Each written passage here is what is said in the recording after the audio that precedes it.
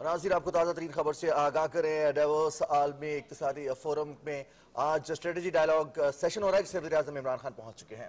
So in the past سے forty years what is the one lesson we learn that you can not have prosperity and economic growth if there is not peace and stability so Pakistan participated in these two conflicts. One was the Afghan Jihad in the 80s, and then uh, uh, in after uh, 9/11, we participated in uh, the war on terror, and both these uh, cost us heavily. Uh, the first conflict left us with militant groups uh, after the Soviets left Afghanistan, and and a culture of uh, and uh, and drugs that were used to pay for the war, uh, sectarian groups, which did a lot of damage to our society.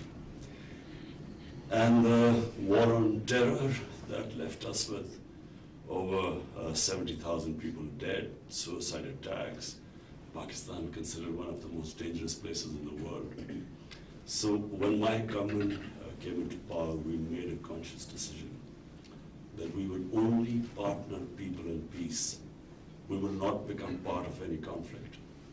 And secondly, the legacy of uh, the 80s, where we were left with these militant groups still operating in Pakistan. Uh, this was the first government that has uh, uh, disarmed them and tried to rehabilitate them. so, as a result of this, the, the first uh, benefit Pakistan uh, had is in tourism. Pakistan is probably one of the most, uh, in terms of tourism, one of the most undiscovered countries in the world. Uh, it has one of the oldest civilizations, the Indus Valley, 5,000 years old. It is, um, in terms of uh, a, a country which is sacred, which has sacred places for four religions, Hinduism, Buddhism, of uh, the old Buddhist civilization, and then Sikhism, and then of course Sufism. so all this potential was untapped.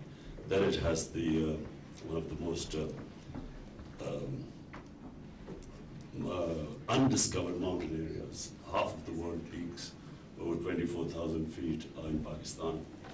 So, uh, so the first impact was that tourism doubled in one year. It doubled. Uh, it was then Condé Nast uh, magazine named it as the most uh, exciting tourism destination, and um, the back, British Backpackers, Backers Association, they sort of named it as, as the top destination. And we believe that in tourism, Pakistan um, can make a, uh, collect a lot of revenues, especially foreign exchange. You know, we, uh, when we assumed power, we had the biggest problem was our current account deficit. So uh, the shortage of dollars meant that the current currency was sliding. Uh, so number one impact on tourism. Then the next thing was investment. We have a young population, uh, need employment, and the only way we can um, give them employment is by uh, by bringing investment, local investment, you know, start reindustrialization. In 60s, Pakistan was one of the fastest growing uh, countries in terms of industrialization. Um, we were the fastest in the subcontinent. We lost our way in the 70s because of uh, uh, an ill-conceived nationalization, which just stunted, uh, stopped our industrial growth. And then this uh, socialist mindset, which was anti-profit making. So we have reversed this. We this, now the government is uh, actively um, uh, uh, incentivizing industries and investment. So we we have uh, we then try to remove all the hurdles in the way of invest, investors. So the World, uh, the World Bank, its uh, index for ease of doing business, Pakistan was one of the top countries. We climbed 28 places. Of course, a long way to go, but you know this is the the direction the country is headed. Our investment in one year jumped, foreign investment jumped 200%. So, um, uh, and profitability, I, I think Unilever is here, they, their profitability went up.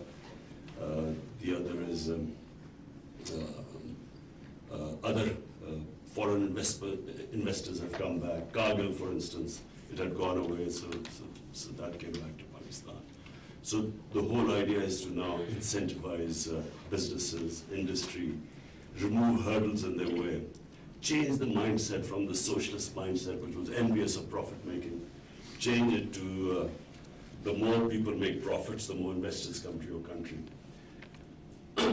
and um, to, to ensure that uh, we do not go back into that, the days of, you know, when you have conflict.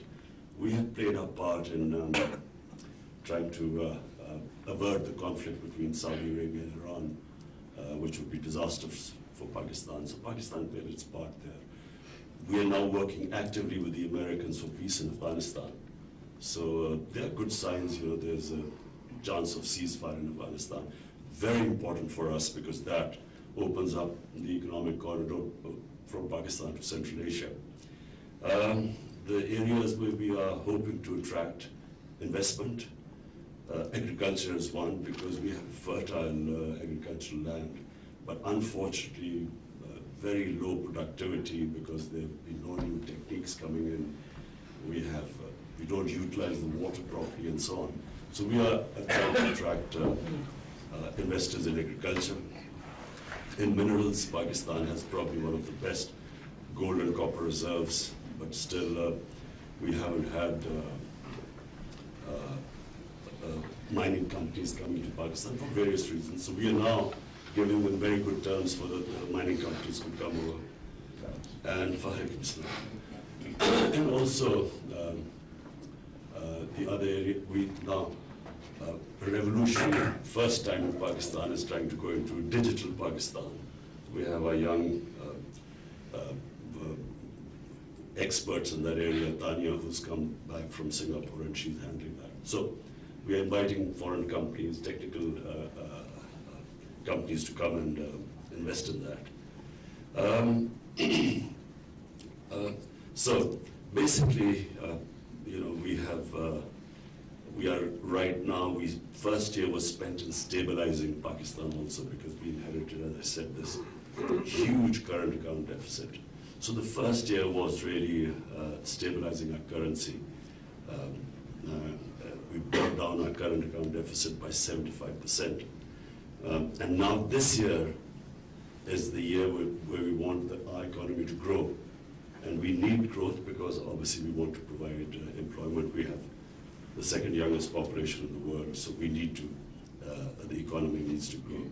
So we are doing everything possible to attract investment, and make it easy for our local industry to invest, uh, giving them incentives. And, and, as I said, it's the first time since the 60s that a government is consciously now uh, planning to help its, uh, its industry grow. Prime Minister, thanks for that and for, uh, for really spelling out what you, you want to achieve. وزیر اعظم Imran Khan Pakistan strategy dialogue سے خطاب کر رہے تھے، جو کہ منعقد ہوا ہے ڈیبو سوئٹزرلینڈ میں۔ انہوں نے کہا کہ معاشی ترقی امن استحکام سے وابستہ ہے۔ پاکستان نے دہشت گردی کے خاتمے اور امن کی خاطر بے شمار قربانیاں دی ہیں۔ امن و امان کی بحالی کے لیے ستر ہزار افراد نے اپنی جانوں کا نظرانہ پیش کیا۔ افغان جنگ کے باعث ہمارے معاشرے میں کلاشن کاف اور منشیات کا کلچر آیا۔ ان کا یہ کہنا تھا کہ پاکستان میں امن کے قیام کے بعد سب سے زیادہ فائدہ سیاحت کے شعبے کو ہوا۔ وزیر اعظم نے کہا کہ پاکستان کئی قدیم تہذیبوں کا مسکن ہے، سیاحت کو فروغ دے کر ملکی معیشت کو ترقی دی جا سکتی ہے اور ہمارے ہاں زراعت میں سرمایہ کاری کے مواقع ہیں جسے استفادہ کرنے کی ضرورت ہے۔ حکومت سنبھالنے کے بعد تجارت اور سرمایہ کاری کے درمیان جو حائل رکاوٹیں تھیں، ان کو دور کیا۔